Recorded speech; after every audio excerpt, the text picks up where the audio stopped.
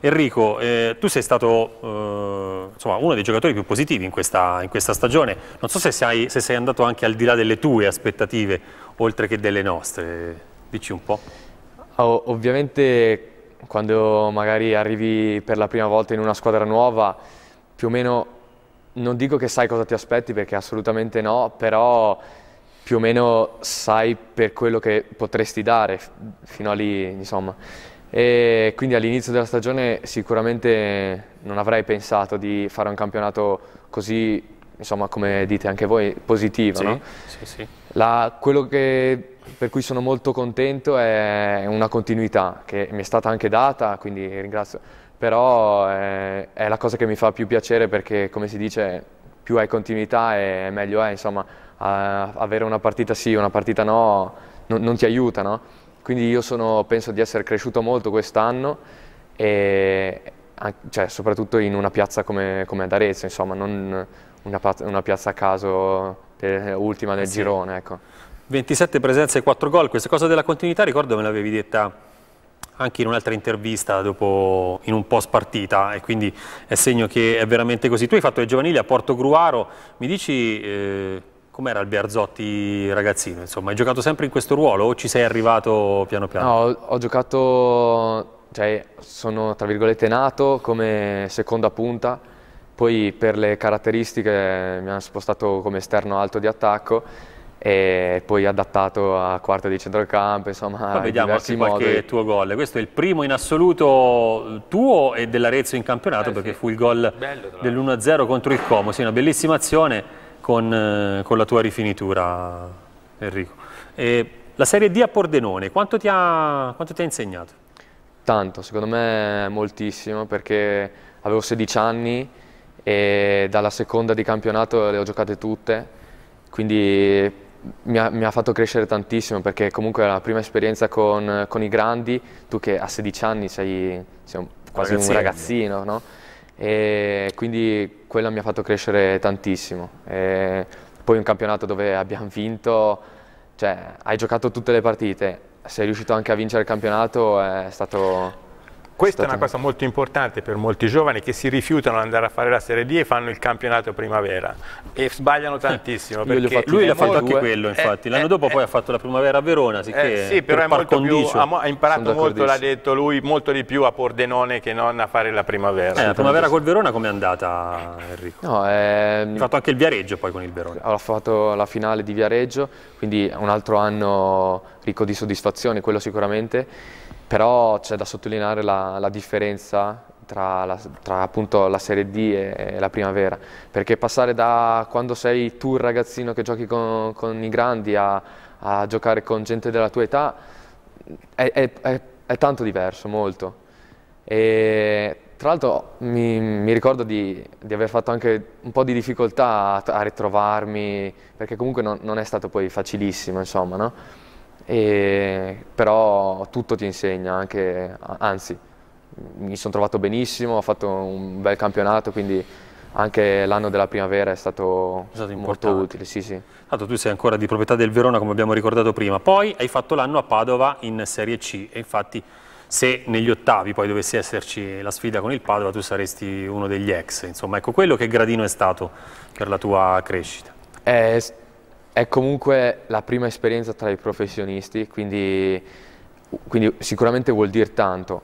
All'inizio trovavo molta, cioè, abbastanza insomma, continuità anche per, per, essere appunto la prima esperienza e successivamente il girone di ritorno anche col cambio di allenatore ho trovato un po' meno spazio, però è stato comunque un anno di passaggio, diciamo, no?